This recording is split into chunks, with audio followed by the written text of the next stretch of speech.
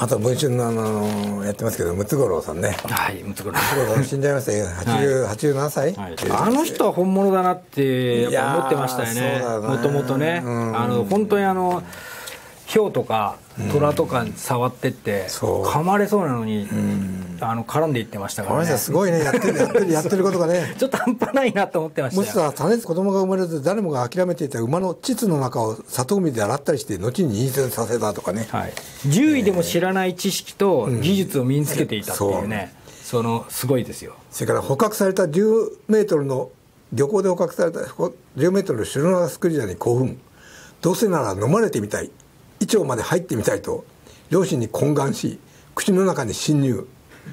飲んだ魚をこし取る特殊な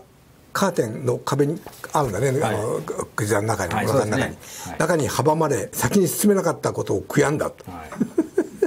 だけどさ、先に進んだらどうなったの死んでますよ。消化されちゃう絶対死んでますよ。死んでるよなこれな。まあでも吐き出されるかもしれないですけどねなんかオキアミとかああいうの食う白あの白長スクジラですからね。だけど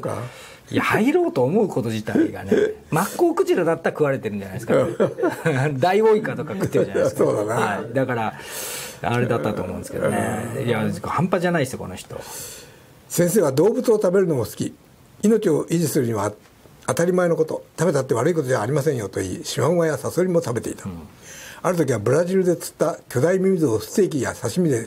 食し生きたままのナメクジや牛のおしっこを口に入れるアマゾンではピラニアだらけの顔を全裸で遊泳した。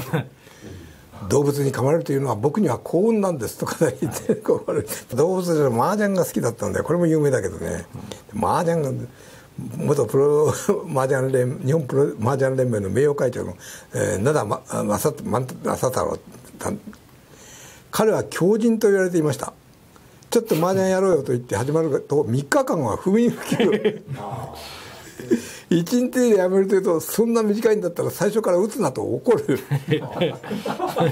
麻雀打ってる時は意外と神経質でパンを食べている時に取材のカメラが寄ってくるとこんなところ撮るんじゃないよってパンを投げ捨てたりするんですと、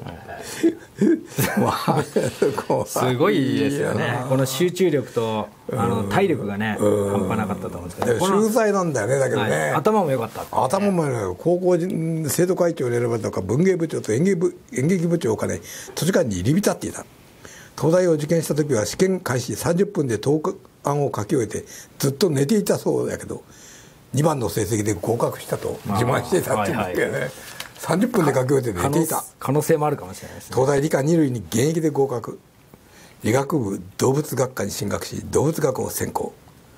で大学時代は純文学の小説家を目指していたが同年齢の大江健太郎さんの文章を読んでとてもかなわないと思って諦めた、うん、それから学研に入ってですね、えー、映像制作を担当して次第に鬼人の片鱗を見せ始める。カエルの卵の発生過程を撮影するため1分に1コマのシャッターを押し続ける徹夜生活を1か月にわたって続けてもケロリとしていた、うん、すごいね。67年にエッセイ集「我ら動物皆兄弟」を出版したのを機に学研を退職、えー、北海道浜中町の無人島県北期に妻と娘を伴い移住したのは71年のこと、うん、これはまあ自分はいいけど家族は困るんだろうねこれね奥さんは高校時代の、まあ、からのそのなんていうか付き合いなんだけど、はい、よくついてったね、うん、まあ仕方ないって諦めるしかない人ですよね、このだってこのよくあの